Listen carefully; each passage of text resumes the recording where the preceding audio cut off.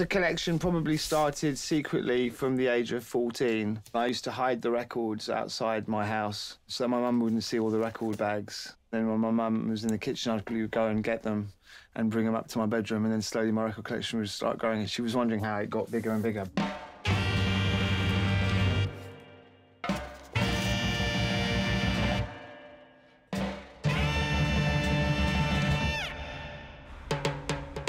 Crazy amount of stuff going on at the moment for me. I'm A&Ring a lot of projects. I'm going live with my band Strata. We've got big shows, so festivals, curation, DJing, producing, and actually being on stage with Strata. That's uh, the next couple of months for me.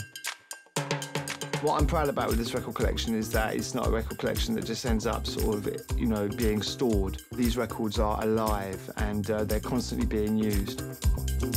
Music you know, it's a luxury, and and to have your favourite moment at the highest level is essential. And with sound, that can allow you to kind of, you know, get through those difficult or happy moments.